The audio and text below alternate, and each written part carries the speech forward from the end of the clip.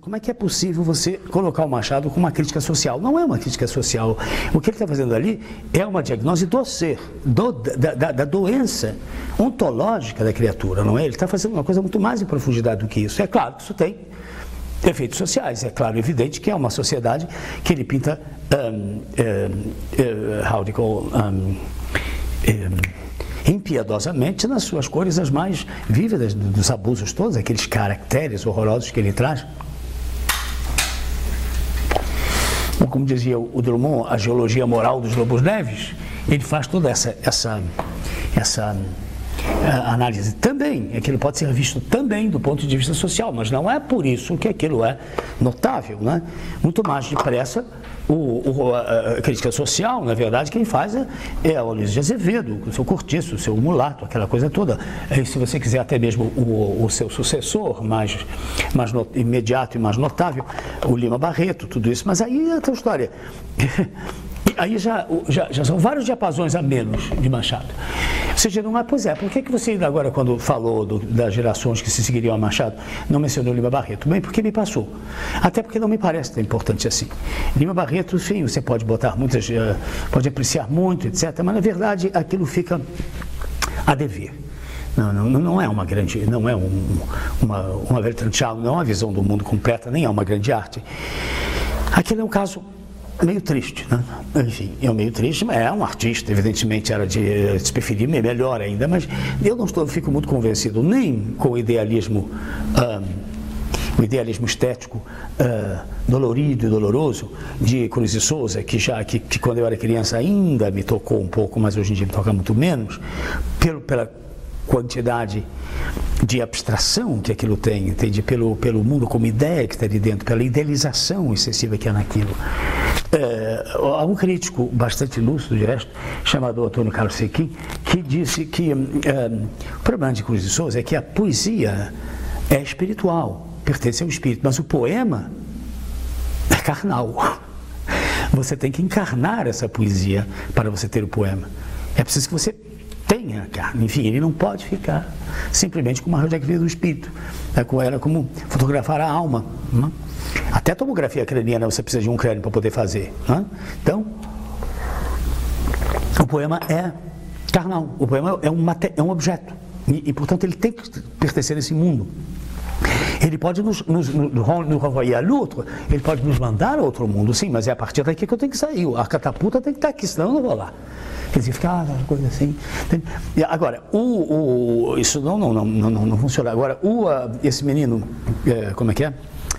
é, é, Lima Barreto, é o contrário. Aquilo há uma canalidade excessiva, aquilo há um, um, uma, uma no, no, plano da, da, da, resolução formal do poema, do, enfim, do texto, aquilo está demasiado preso ali.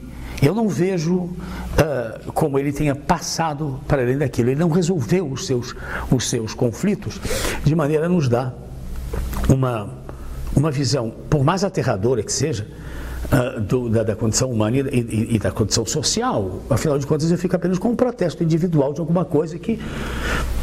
É, provavelmente estava errado sim, seria melhor que fosse de outra maneira, mas aquilo não me abre um horizonte, como muito menos o horizonte da vertigem, que é o que Machado faz, não é? Ah, bem, uh, continuando a ver os poemas de Machado uh, e, a, e, a, constância disto, não é?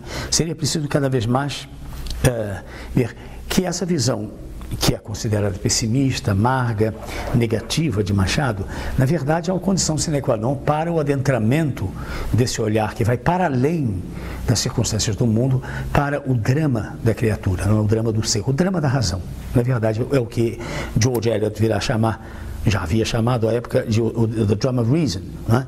e que eu faço o, o, o ponto o ponto chave, o ponto crucial do mundo como ideia ou o mundo como ideia ou a, o drama da razão. Você ou tem o drama da razão que te faz viver todos esses, esses paradoxos, ou você está simplesmente numa idealização de um tipo ou de outro, né, da realidade.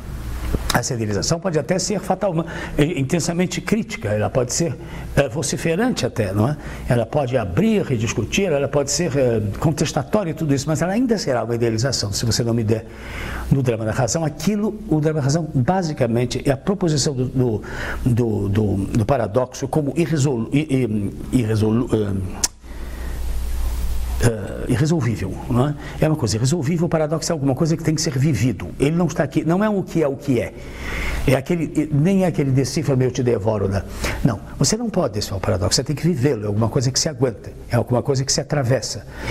São são as polaridades inconciliáveis das quais a criatura humana não pode escapar. E é através desse caminho dificultoso do, do, do dilaceramento contínuo e constante que ela chegará a uma visão plena do ser. Essa visão plena, mas que plenitude é essa? É uma plenitude dilacerada bem? Aí é que nós não sabemos. Aí é justamente isso nos leva aos, aos, aos ao limiar do mistério. Justamente nós não sabemos. Aí, se for cristão, você acha que, que evidentemente é uma ordem, se você é grego, você acha que é um cosmos. Se você, assim, há mil outras maneiras de você lidar com isso, mas o que você não pode é dar um, uma, uma, uma Uh, uh, an account of the world, quer dizer, um, prestar contas do mundo sem atravessar a tensão do paradoxo, que é o drama da razão. E você tem que atravessar isso de maneira acordada, plena, que é aquilo que o drama da razão te dá. Cômodo não, não é cômodo é, alentador? Não, não é alentador, mas é o único caminho possível. Fora deste, você está sempre se iludindo ou iludindo, ou enfim, você está lidando com o mundo, com ideia, com ilusão, com tudo isso, which is wonderful, marvelous, mas são férias e quem vai passar a vida de férias? Né? A arte pela arte é uma dessas coisas. Bem, vale a pena aqui mostrar o soneto de Natal de Machado, não é? é o famoso soneto de Natal. Um homem era aquela noite amiga noite cristã, berço do Nazareno. Ao relembrar os dias de pequeno e a viva dança e a lépida cantiga, quis transportar ao verso doce e ameno as sensações da sua idade antiga, naquela mesma velha noite amiga, noite cristã, berço do Nazareno. Escolheu o soneto. A folha branca pede-lhe inspiração, mas frouxa e manca, a pena não acode ao gesto seu e em vão lutando contra o metro adverso, só lhe saiu este pequeno verso: Mudaria o Natal ou mudei eu? É uma obra-prima, né? quer dizer, realmente extraordinária, assim, perfeito na sua forma, na sua naturalidade, no captar assim aquela coisa, realmente inacreditável. Podemos fazer outras outras um, capacidades. Camacho escreveu tão bem assim, o Vinícius de Moraes virá fazer dos anos 40, um formidável poema de Natal. Encerrou o poema de Natal dele, é uma coisa extraordinária, que nós vamos ver aqui também.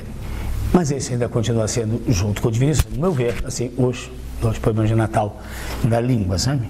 Porque são mesmo a, pessoa diante do sentimento de Natal, né? Aquela coisa, pois é, antigamente era assim, era assado. Você vê como ele saiu de totalmente, totalmente a sentimentalidade da coisa, não te deixou de comunicar isso? É, não está dando para exprimir aquilo não. Bem, é, o, o Natal mudou, vai ver que fui eu. Hum, aquela coisa, é, as coisas mudam. Oh, coisas todas vãs, todas mutáveis. Né? Do, um, do Sá Miranda, do soneto dele. Um,